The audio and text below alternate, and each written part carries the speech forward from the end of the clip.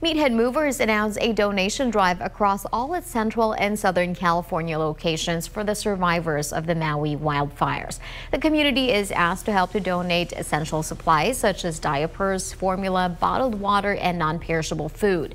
Meathead Movers partnered with Operation USA to deliver the donations to Hawaii.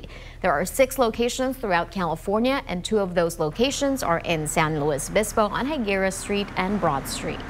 Unfortunately, this is not our first time doing a drive like this. We call it Fill Those Trucks because in the past there has been a need and we have the resources, the trucks, to deliver them to where they need to go. And we hope that our communities trust that we'll take care of it and bring it where it needs to go. So all they have to do is go out and buy those four specific items, bring them here, drop them off, and we'll get them to the people who need it. There will also be remote locations posted via social media by Meathead Movers for donation drops in Santa Maria and Paso Robles. The donation drive ends Sunday at 6 p.m.